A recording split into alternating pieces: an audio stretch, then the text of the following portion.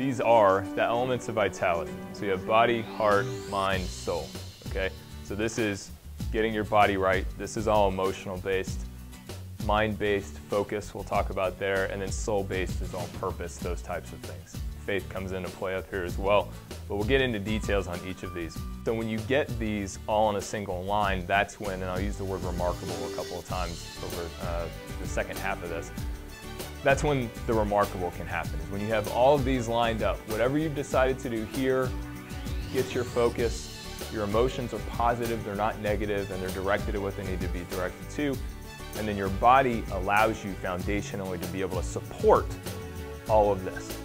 As a personal trainer, I get a lot of questions, and one of them I get is if I can only eat right or I can only exercise because I don't have time for both, what should I do? And 11 times out of 10, I'm going to tell them to eat right and to eat right well because that's going to enable you to do this, to exercise well. Breathing, sleeping, water, they're all free. This is the no excuses slide.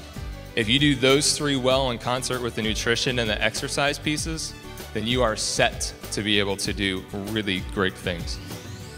When you see this number on the screen, what do you think of? Some of you might think of the 1%, the richest in the US. That's fair, that gets talked about an awful lot. But what I want you to do is think about this number a little bit differently from now on. 1% of your day is 15 minutes of your time. And in those 15 minutes, you have the chance to change your life forever. How? Through the power of the letter. Now, think about letters for a moment in your own life. When was the last time that you sent one? When was the last time that you received one?